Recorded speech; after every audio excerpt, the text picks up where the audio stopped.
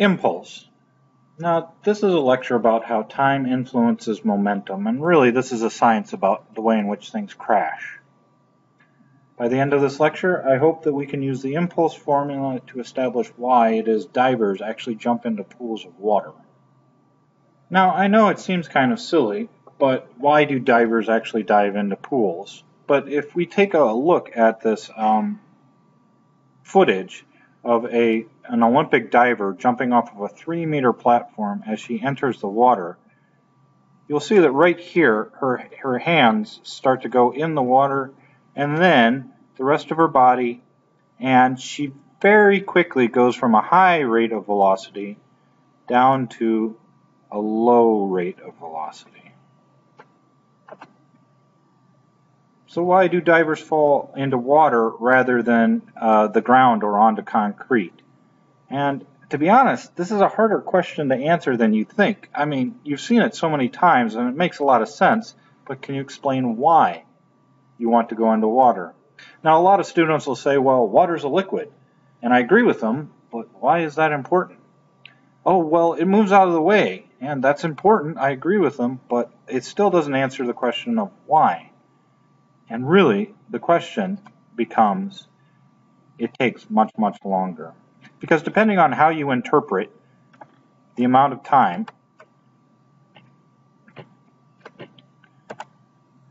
from here to the point at which she stops, you could interpret this as anywhere from 0.800 to 1 second. And would you buy that? It, uh, 1 1000. That's about how long it takes you to stop in water. Yeah. Well, here's our first problem. The woman in this video and my son Ethan jumps from a 3.0 meter platform. How fast are they move, moving the moment that they hit the water? Well, this sounds like a phenom problem. Alright, what is given to us? We do know that the platform is 3 meters above the water. So my distance in the y is 3.0 meters. But here's the thing. The people are traveling in a downward direction. And why is that important? Because that helps us with a sign.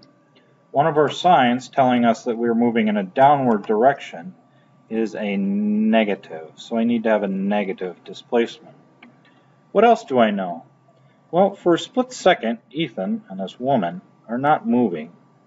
So I know that their velocity is 0 meters per second. And I know that the woman and my son are going to move at negative 9.8 meters per second squared. They're going to accelerate towards the center of the Earth. And here it's asking how fast. So that is a measurement of velocity question meters per second. And so, which equation is going to help us? We're looking at a phenom, and so velocity final squared equals velocity initial squared plus 2 times acceleration times displacement. So when I substitute and simplify, I don't know what velocity squared is, but I do know that velocity initial is 0, and 2 times the acceleration of negative 9.8 times negative 3.0. Well, this blows up because any number times 0 is 0, and I get velocity final squared equals 58.8. And in order to get rid of the square, I'm going to take the square root of the left and the square root of the right. I get a velocity final that equals 7.668115. But we're being pleasant in my class, why don't we just say 7.67 meters per second. So, okay. so My fun, is my son moving pretty fast? Yeah, seven and a half meters in every second. He is moving really, really, really fast. Well, let's change it up a bit and remember this number because Ethan, my son, jumps from a three meter platform. He does it again, but now I know that his mass is 29 kilograms. What is his momentum when he hits the water? Now from the last problem, I know that his velocity as he enters the water is 7.67 meters per second. But now I have a mass as well. That's 29 kilograms. What am I looking for? I'm looking for momentum. And that is in the units kilograms times meters per second and the formula that I'm going to use is momentum equals mass times velocity. Now I don't know what momentum is, but I do know that mass is 29, and I'm going to multiply that by how fast he is going, 7.67, and I get a momentum of 222.43 kilograms times meters per second.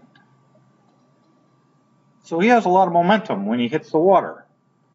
But now, when he stops moving in the water, when he stops moving, when his velocity equals zero, what can we say about his momentum? Hey, his momentum equals zero as well. And so here lies the problem. Ethan, my son, needs to change his momentum from 222.43 kilograms times meters per second all the way down to zero. He's got to do it somehow. And this is where uh, the water comes in. Now, this concept of changing your momentum, we've talked about just a little bit, but now let's put it in the perspective of how long it takes. Impulse. Impulse is a measurement of how much force is applied over a time in which you are required to change your momentum. Now, there's a formula, and that is impulse equals force times time, or also known as F times T. Its units are newtons, the units for force, times seconds, the units for time. And since we're talking about changes in momentum, we have a giant string of equations here that are all equal to each other. And I believe it's called the distributive property that tells you that if impulse is equal to change in momentum, and change in momentum is equal to uh, delta p, or this triangle uh, rho, that means that triangle rho is equal to impulse, or impulse is equal to force times time, or momentum final minus momentum initial, and so you can swap these in and out any way that you want. They're interchangeable. They're very much like Legos. You can take them apart. Well, let's see how that helps me in my uh, circumstance with Ethan. Now Ethan, my son, he jumps from his three meter platform again, but this time I find out that it takes him 0.930 seconds to slow down so that his velocity is zero how much force does his body actually end up experiencing? Well, I do know a couple things. I know that his momentum initial equals 222.43 kilograms times meters per second. And I do know that his momentum final equals zero because I know that he's not moving anymore. Okay, let's see. I also have a time from the problem, 0.930 seconds. Uh, I actually have a velocity, and I'll write it here, but to be honest, it's not going to help me that much. And that's not too bad. I mean, in the givens, if you put too many givens, that's better than not putting enough. The thing that I'm looking for is force, and that's in newtons. And now I need to figure out an equation. And if I look here, I can see that, let's see, I don't think impulse is really going to help me, or change in momentum, or this triangle P, because none of my givens. But if I look, force times time, that's going to help me.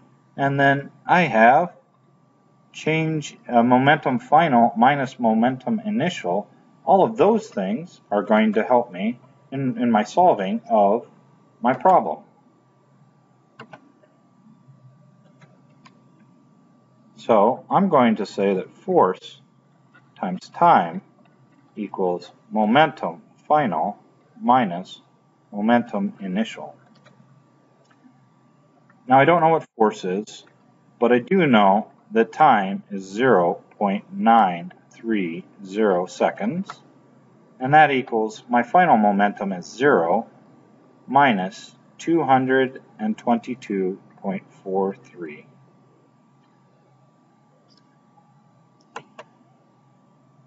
Now I know that this just kind of blows up. Adding zero to anything is kind of, uh, it doesn't help you that much.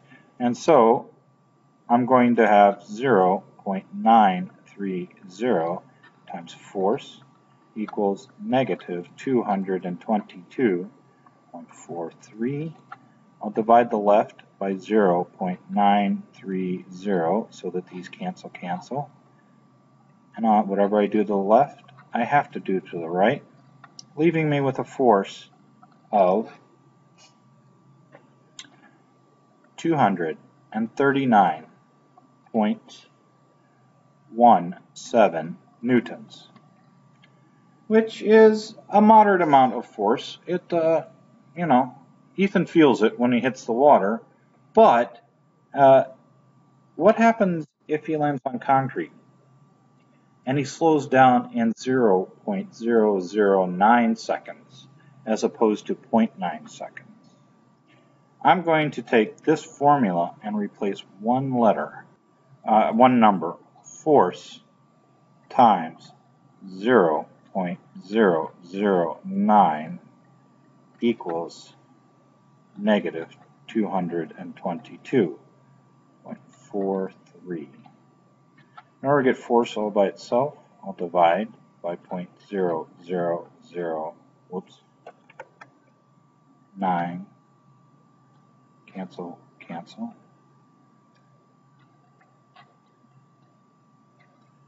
The amount of force Ethan feels from the concrete would be, which is considerably more. 24,000 newtons. And what's interesting is there's an animal that ex that uh, exerts about 24,000 newtons of force downward, and that's a rhinoceros. And so, in essence, what this is saying is that if, if Ethan were to land on the concrete, he would experience the same amount of force as a rhino standing on my son for a split second. But why? after we've done all of this, why is it that he experiences so much force here and not so much force here? It all comes down to time. You are forced to change your momentum. You are forced to change your momentum, but if you can change the amount of time it takes you to experience it, that means the difference between a wet and wild and fun day and a very bad day.